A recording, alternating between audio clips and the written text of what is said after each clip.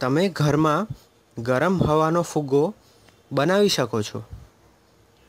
આના માટે તમને વિદ્યુત ટોસ્ટર અને પાતળા પ્લાસ્ટિકની સાઠ સેન્ટીમીટર લાંબી અને ત્રીસ સેન્ટીમીટર પહોળી થેલી જોઈશે ટોસ્ટર પર બે ઊભા તાર થેલીને લટકાવવા મૂકો. જ્યારે તમે ટોસ્ટર ચાલુ કરશો તો અંદરના ગોળ તાર ગરમ થઈ જશે અને ગરમ હવા ઉપર આવશે. હવે પ્લાસ્ટિકની આ થેલીને તે બે તાર ઉપર લટકાવો. પછી ટોસ્ટરને ચાલુ કરો. થોડી વાર પછી તમને દેખાશે કે ગરમ હવા થેલીમાં ભરાઈ જશે.